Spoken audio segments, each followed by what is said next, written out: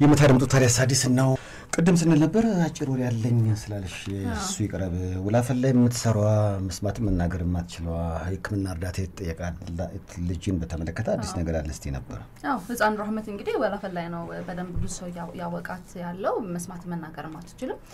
ያማት ነበር። አሁን ደግሞ ከሱም አልፎ ሰውነቷ እያበጠ መጣና የጥቁር አንበሳ የሐኪሞች ቦርድ ውጭ ሀገር ሄዳ እንድትታከም ብሎ ነበርና ሰሞኑን በሰፊው እየሰማን ነበረ ይሄንን ማስታወቂያ በየሚዲያው ላይ ኢቢኤስ ላይ በተለይ ፕሮግራም የሰሩላት በጣም ብዙ መነጋገሪያ ይሆናል። ብዙ ሰው share ያደረገው እሱ ነው ይመስለኛል። አዎ አርቲስቶች ኢቢኤስ ላይ ማስታወቂያ ሰርተውላት ነበረ። እጃችንን እንዘርጋም ብለው ነበረ።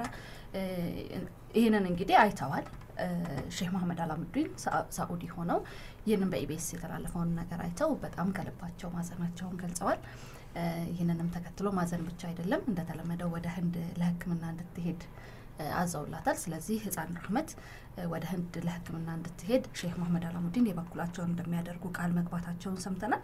እንግዲህ ሌሎችም የሼህ መሐመድ የመጀመሪያ እርምጃ ነው። ሌሎችም የድርሻቸውን ለዚች ለህፃን ራህመት እንዲያበረክቱ በዚሁ አጋጣሚ ጥሪያችንን እናቅርብ።